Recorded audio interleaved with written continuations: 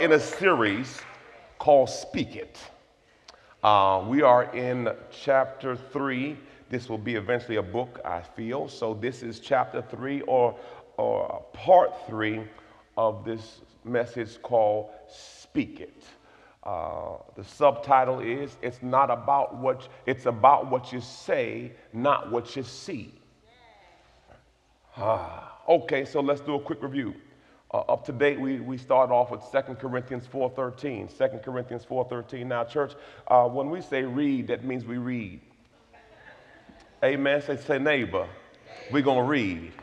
All right, okay, let's read. Yet we have the same spirit of faith as he had who wrote in scripture, I believe, therefore I spoke we also believe, therefore we also speak. Say, neighbor, we have the same spirit of faith as those who wrote the book.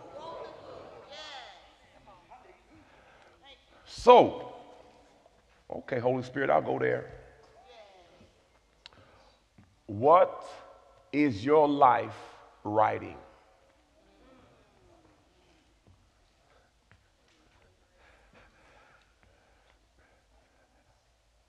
These individuals in the book wrote a story with their life. All you're reading is their life story.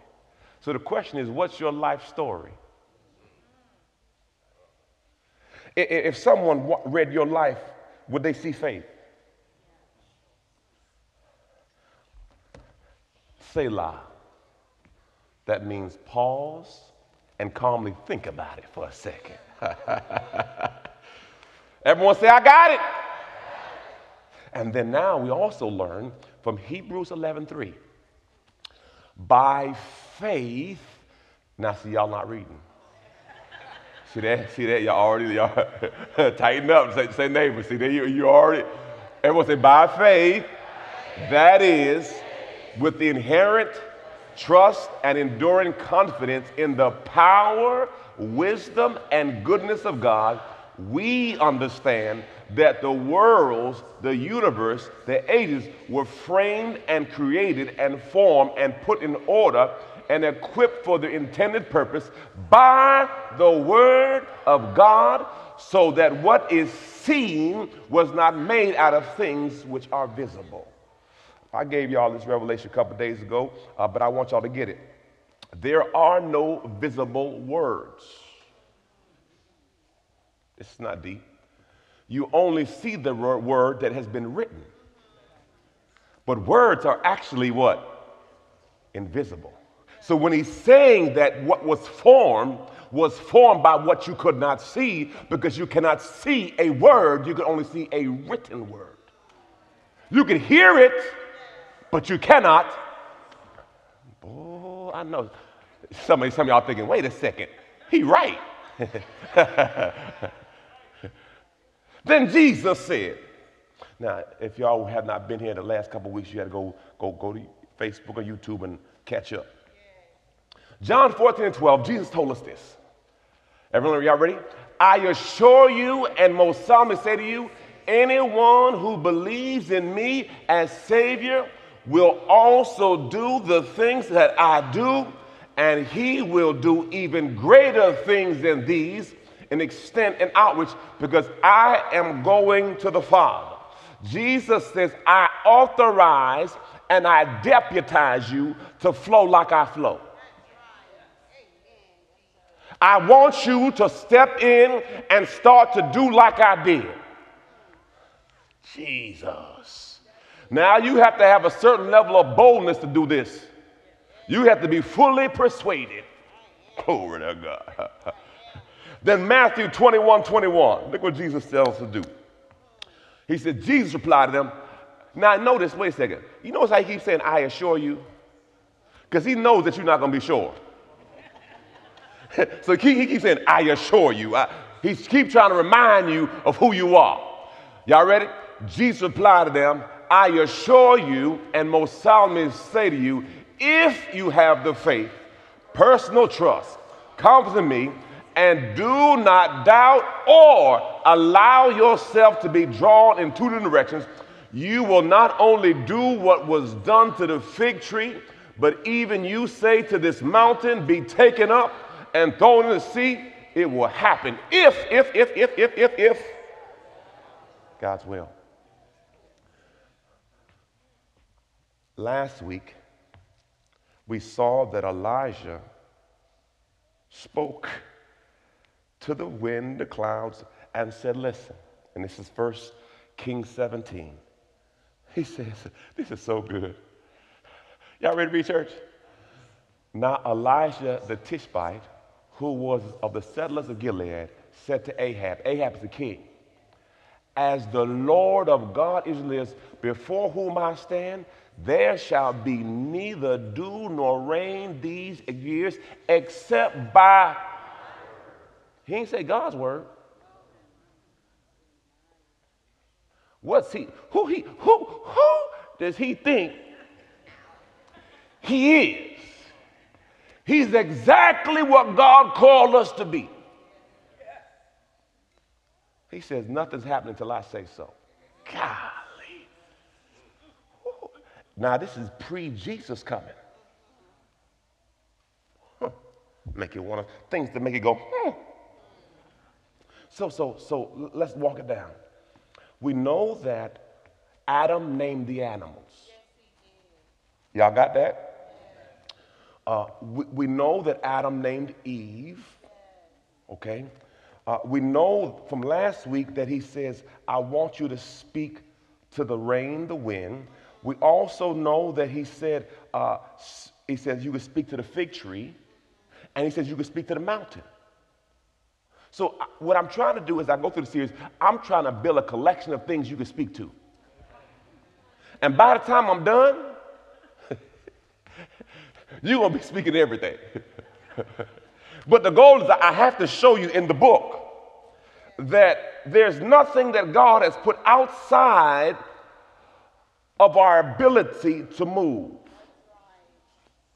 Ooh, today, today, today, today, uh, we're going to be talking about a man named Ezekiel. Ooh, the valley of dry bones. Now, say, say neighbor, say, say neighbor, buckle up. God gave him some fresh manna Ooh, ooh, it was like Golden Corral this morning. It came straight down from heaven. It was like the outback, you know that outback bread when it come out, oh my God, and that butter, Lord Jesus, or that or that cheesecake bread when it come out. Come on, and you say, man, take back the white bread. I want more of the brown bread. Come on. You know they have half, they have half and half. And, and that one, no, man, I want, praise the Lord. Is, is it the honey butter? The honey butter, praise the Lord. So so Ezekiel, a prophet, this is what he does. Chapter 37, he says an amazing thing. Verse 1 The hand of the Lord was upon me. If you go to chapter 1, it's the same thing he said the hand of the Lord is upon me. And he brought me out in the spirit of the Lord, and he set me in the middle of a valley. It was full of bones. He caused me to pass. He, he, he, he caused me. He allowed it. He, he took me to this spot, uh, passed all around them, and behold, they were very many human bones, and open valley, and they were very dry. Oh my God, Holy Spirit, help me. So he's taken me to a dead zone. He's taken to me to a place with no life. He's taking me to a place of no hope. This is kind of like where Mephibosheth was in Lodabar. He's taking me to a place where I don't have no optimism. I can't see my way out. And he placed me in the midst of a place where there is no possibility. Now, why would the God of possibility put me in a place with impossibility? Must be God wants to show me something. Because why would he take me to a place with dry bones? God can take me anywhere, but why would he take me here. Uh, what, what, he's trying to show us, he's, he's saying, son, I want you to know what's on the inside of you. I, I want to know what I made you to do. I, I want you to know what I put on the inside of you. And sometimes God allows us to go through some dry seasons because He's trying to show us what's on the inside of us. Sometimes God allows us to go through some pain and some suffering, some tears, just so you understand I'll never leave you nor forsake you. I'm an ever present help in a time of trouble. Sometimes you don't know what you have till you hit rock bottom. He says, the bones are very dry, meaning there was no thought or possibility that this situation can change. Boy, Holy Spirit, don't let me forget what you're telling me right now, please. Verse 3 And he said to me, Son of man, can these bones live? And I answered, Oh Lord God, you know. You, you, you know you scared when you have no answer. Huh? Lord, you know. Uh, the question is put to the prophet in order to emphasize human possibility. Uh, Matthew 19 26 reads this. It says, But Jesus looked at them and said, With people, as far as it depends on them, it's impossible. But with God, all things are possible. Now, let me give you some subtext. Let me, let me set it up right. Ezekiel had gone through a season of failure that God allowed. So now that he's in a spot that God asked him a question, he is so gun shy because he has failed. See what happens in life, y'all, when you're young and you're spry and your body work right and you feel good about yourself and you didn't have no bad relationships, you believe the world is beautiful. Come on, come. Y'all remember the time when you thought that everything is good. But the longer you live, you meet some nasty people. You, you, meet, you go through some things and your perspective changes. And before you know it, you become a little jaded because you know what? I never thought someone would do me like this. So what happens, you start to get back up off of people because you don't really know what's possible, and, and people have now showed you that not everybody that says, Lord, Lord. so, Eli- Ezekiel, God is asking him to step into being who he called him to be, but he has some post traumatic stress syndrome. He had been through some stuff that now God says to be who I called you to be, but Lord, you don't remember what happened to me. Ezekiel 3:26. Look at this, y'all. Look what God did. Y'all ready to read? And I will make your tongue stick to the roof of your mouth so that you cannot talk and you cannot be a man who rebukes people, for they are a rebellious house. God shut his mouth. So now God asks you to talk. I don't, I don't know if I want to talk. and sometimes God allows us to go through some things. And now you have to go through rehab.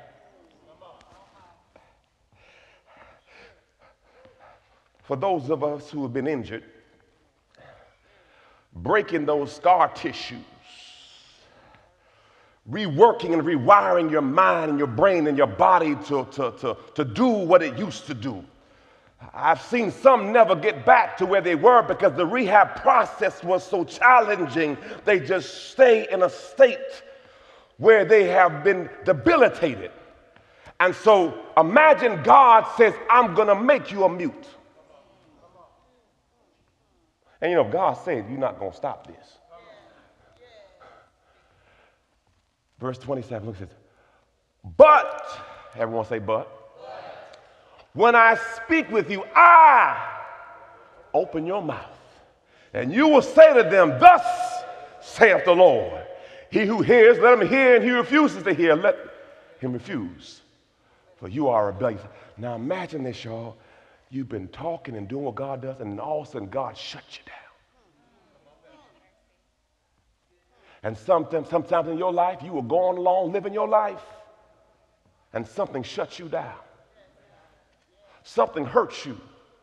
Something sets you back and you stop believing like you used to believe, you stop dreaming like you believe, because see, something happened to us. And if, if I talk to every single one of you in here, you can tell me the day, the time, and the hour when that thing shifted your life. And I'm telling you today, you got to reawaken that dream, that thing that God put on the inside of you. Listen, this old things passed away. Behold, all things are new, and God is trying to do a new thing. So he's saying to Ezekiel, Son of God, son, hear me. I know what you've been through. But I'm trying to light your fire again. I want you to be what I've called. I know what you've been through because, see, sometimes in our faith walk, we think that God didn't know what you've been through. Like God was surprised but what he allowed to happen. Everything, as Romans 8 28, he says, and we know that all these things are working together for good. Those who love God and those who are called according to his purpose his design, his plan. All right. So now you got the pretext. What happened to him? He's a prophet who was told to shut up. You know how frustrating it is when you want to say something, you can't say something? Imagine, imagine you go a time in your life when you want to say something to somebody, huh? You want to tell them how you really feel, huh? And you can't talk. So what happens people started to make fun of him. People started to laugh at him. The prophet who can't talk.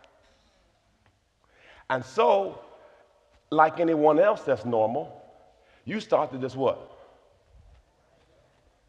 And so now God says, Son, I want you to speak. I don't know if I want to speak. That didn't work out too well for me.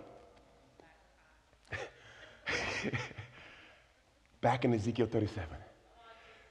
He said to me, prophesy to these bones and say to them, old dry bones, hidakashi, hear the word of God. The word prophesy, as you dig in, it means this. Oh, speak on God's behalf. speak like God said it. Speak that word as if God is speaking to it. So he's saying, Son, speak to the dry bone. So uh, the question I must ask you right now, my brothers and sisters, what dry bones should you be talking to? What dead situation should you be talking to? What situation have you lost your hope on you should be talking to? Verse 5 Thus saith the, notice he didn't say I said. the Lord said for me to say. Thus said the Lord God to these bones, Behold, I will make you, I will make breath into you so that you may come to life. That word breath also means wind, spirit. I will make you come to life. Come on, come on, come on. Now, ooh, Psalms 104 and 30 reads, You send out your spirit, and they are created. You renew the face of the ground. Uh oh, there it is. You renew the what? So, what is God showing him? Holy Spirit, here it go. How did God create man? With his word. No, what was the substance he used? Dirt. So, what is he saying? I'm going to show you how I created man, and I'm going to make you the cook. Golly. Because man was created with dirt. So, what was the valley filled with? dry dirt. He says, I had to wait for the dirt to be right so I can use that dirt to recreate what I did in the garden. The same material then is the same material now. But I want to show you how I did it. Golly. Back in Ezekiel 37 6, watch it says, I will put sinews on you, make flesh grow back on you, cover you with skin. I will put breath in you so that you may come alive and you will know. Isn't this what happened in the garden?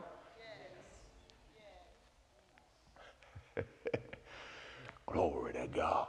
Now, the process is twofold. The first process is the reconfiguration of the, uh, the skeleton structure, the sinew, the skin, all the other things. But then he, he needed more. He had to put breath in him. Verse 7 says this Then the Lord formed this, created. No, this is Genesis now, okay? Because I want to give you exactly how he did Genesis to connect the dot. Let's read it. Then the Lord God formed, that is, he created the body of the man from what? and he breathed in his nostrils the breath of life, and the man became a living being, individual, complete. So notice, Ezekiel, God was taking him back to the lab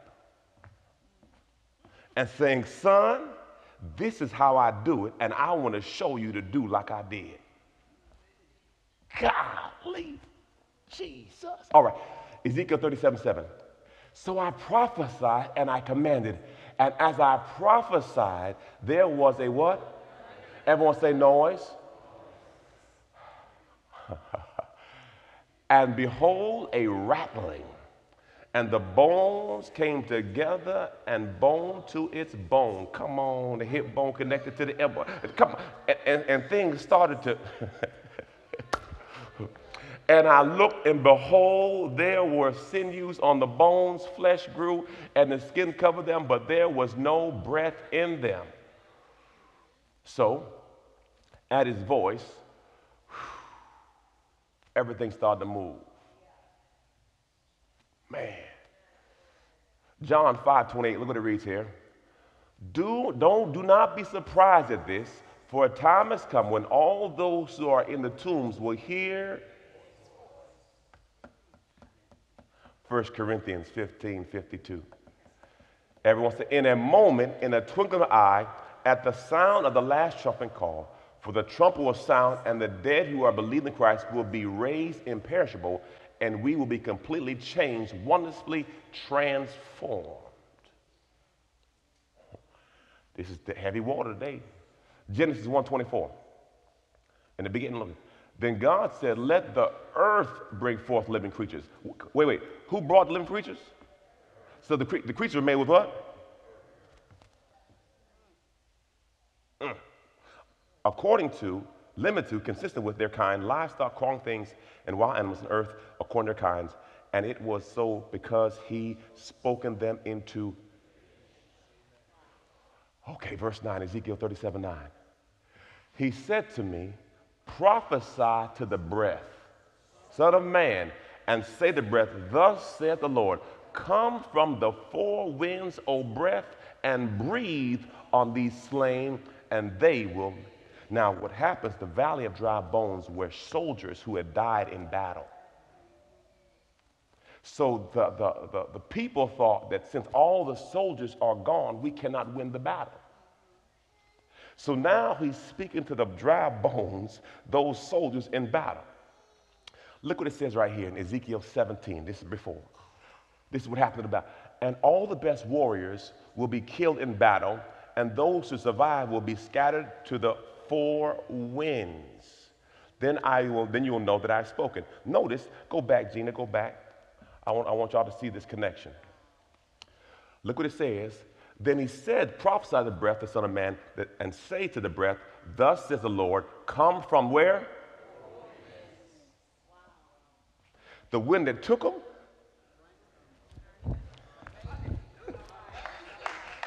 the same wind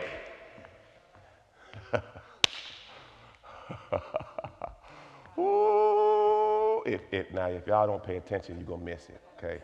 If you don't pay attention, you're going to be like, I don't, I, don't, I don't know what he's talking about. The wind scattered them, and the same wind could bring them back.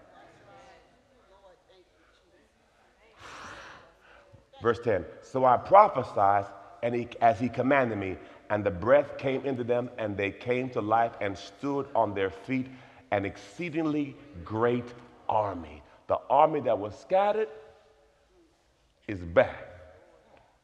Then he said to me, Son of man, these bones are whole of the whole house of Israel. Behold, they say, Our bones are dried up, our hope is lost, we were completely cut off. Therefore, verse 12, therefore prophesy and say to them, Thus saith the Lord, Behold, I will open up your graves and make you come up out of your graves, my people, and I will bring you back to the home, the land of Israel. Verse 13, then you will know with confidence that I am the Lord when I have opened their graves and made them come out of their graves, my people. Here it is, verse 14. I will put my spirit in you, and you will come alive, and I will place you in your own land. Then you will know that the Lord has spoken and fulfilled it. Now, now let me help somebody. Some of us have lost some people we really care about. And this word encouraged me so much that God's going to speak a day, a word one day and, and it will feel as it was no time. Now, Pastor, what do you mean by that?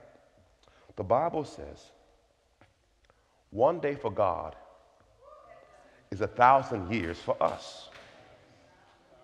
If you do the math, it means if you lost someone in this season, it will feel like no time when you see them. Jesus. I wanted to sit down and do the math for you, but I don't feel like doing all that math. because there's an equation, because if one day for God's a thousand day, a thousand for us, and we know, so then you can work the math out and realize it may feel like seconds or minutes when you see your loved one. Thank you, Holy Spirit. So, the question I must ask you, my brothers and sisters, what dead things have you stopped speaking over? What mountains have you stopped speaking to? Because what happens in this faith walk, we get tired. And Galatians chapter 6 says, Do not get weary in well doing, for in due season you shall reap what you've sown if you faint not.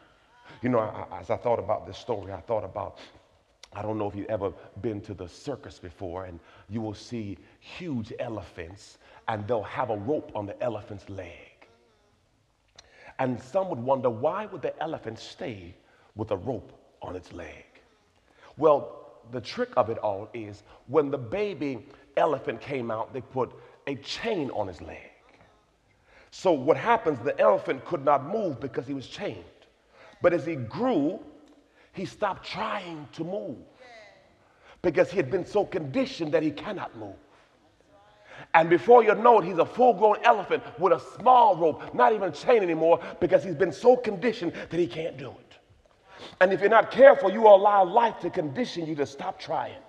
You will allow situations to condition you to where you stop trying because you know what? It didn't work last time. So why should I keep trying it didn't work last time. The Bible says a righteous man falls down seven times, but he gets back. You know, sometimes we feel as if God is, is pressing us too hard.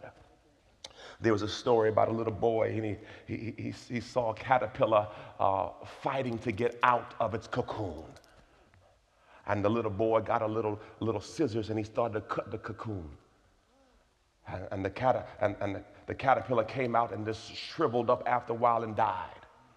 And someone said to him, Don't you understand that the cocoon has a purpose? He said, I didn't know that. He said, Well, what happens is in the process of the butterfly trying to get out, he is working his wings. And the process of him fighting to get out of his cocoon is strengthening and it's allowing blood to go into his wings. So, what people thought were trying to hold him back was really trying to make him fly. And sometimes in your life, what you thought was trying to hurt you was really trying to strengthen you. See, the goal of God is for you to have the strength to step in and walk in your call, but oftentimes God allows you to go through seasons of trials and tribulations. Hear me, adversity was never made to break you, adversity was made to make you. So God will use those trying seasons because He's trying to strengthen your wings, believer. There's times when you go through storms and you ask God, why? Why do so much pain? Why do I have to go through this, God? Not realizing, as Paul said, Lord, I've asked you three times to remove this thorn from my side, but my grace is sufficient. For in your weakness, my strength is made. Some of y'all know when I, when I was a teenager, I worked at a place called Discovery Zone. The Discovery Zone was like Chuck E. Cheese on steroids. Ah, it was in Germantown, Maryland, and I was a, I was a kid coach. As a kid coach, part of my job was to play with the kids in the tubes. They had tubes and balls, and you climb like, you know, in the balls and play with the kids, and then you'd have to go get the pizza, slice it, take it to the table for the party, and bring Coke out. But the also part of the job was this you had to go on the PA system and announce the party. I was a poor reader, and they had a little girl named Susie, and Susie was a great reader. Now, she wasn't a good employee, but she could read better than me. Huh? I was the best kid coach, but I was a poor reader. So Imagine if you can't read well and you have a girl who goes before you to announce her party and it sounds like this. Hey, little Johnny, it's a great day at Discovery Zone. I'm happy for you. You're 10 years old. Can all of the participants go to little Johnny's birthday party? We have pizza and Coke ready for you. Yay! I get up on the thing. Hey, hey, hey, John, um, yeah, um, let, let, your pot, the room ready. You know, because when you can't read, you skip words. Come on. If you, you know when you can't read, you just got to be jumping, just, just, you paraphrase. Come on. Anybody had a child? You, you, you, you the, the room ready. So the manager came and said, Jomo, you got to do better than that. You know, you, you, you 16 years old. When they put, so I just talked to, to, to Susie. I said, Susie, every time my party come up, just, just, just speak for me, and uh, I'll clean your room up. You know, you know how you do side deals. You know, I'll go clean your room. You just announce my party for me. And so today,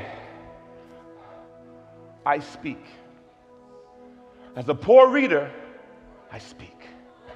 As a poor reader, I write. Because oftentimes, what God has called you to will often take you to places that you're not comfortable. Because what God wants you to understand, it was never about your ability, it was all about your availability. And God can use anybody at any time. So I stand here today, never thinking poor reading Jomo would be speaking to you. God says, I use the simple things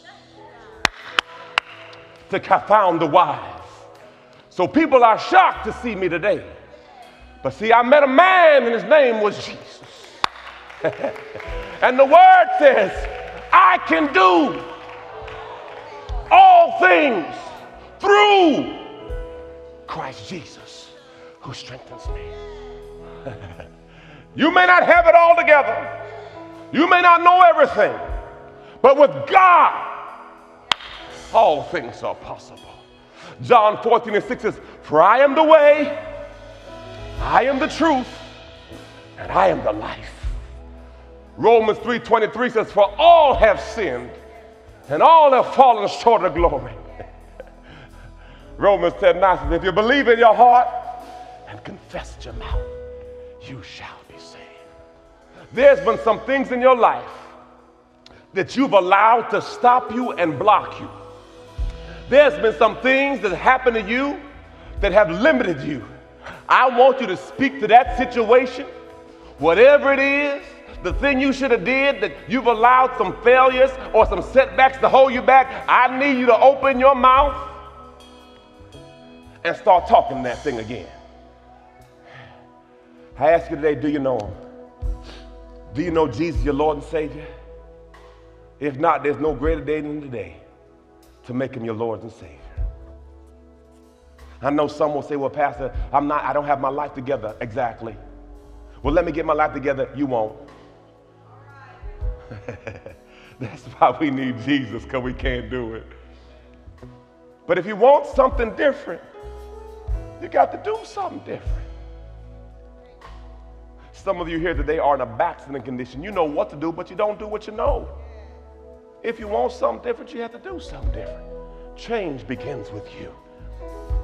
Some of you looking for a home church. I am not a perfect man. I'm not a perfect pastor. I'm under construction just like you. But God gave me a little revelation. I try to share it with y'all. So there's no perfection here. But we serve a perfect God who helps imperfect people. And if you want something different, do something different. With all eyes closed, all heads bowed.